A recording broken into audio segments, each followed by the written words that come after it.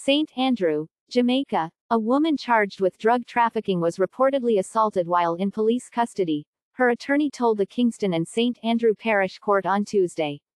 The woman, whose identity is being withheld for her protection, stood before Chief Parish Judge Chester Crooks to answer to the charges of conspiracy to export cocaine, possession of cocaine, dealing in cocaine and attempting to export cocaine. The allegations are that on Sunday, June 26, the woman attempted to board a JetBlue airplane scheduled to leave the island for New York City, United States.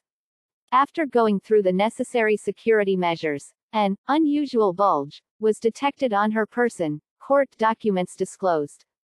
A search was carried out where airport officials found three irregular parcels in her bra.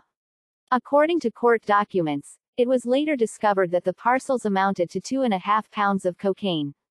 The woman was then questioned by the police and charged. However, the case quickly turned into a closed matter when the judge, upon the request from the woman's attorney, requested that both the media and other individuals slated to have their case mentioned were asked to exit the courtroom to allow the attorney, who had made a bail application, to provide sensitive details about the assault. In bid to have the accused bail application denied, the investigating officer told the court that she was a frequent traveler.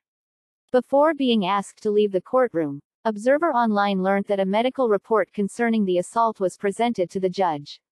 Although the media was not privy to the argument the woman's attorney made on her behalf for bail application, because a part of the attorney's argument supposedly entailed the assault, it was understood that the bail application was initially denied, but she was then granted bail as there was a COVID-19 outbreak at the prison she was to be held. I'm offering you bail, in the sum of $500,000 with one or two sureties. That means up to two persons can come together to bail you. Your passport will be surrendered to the court's office, Judge Crooks said.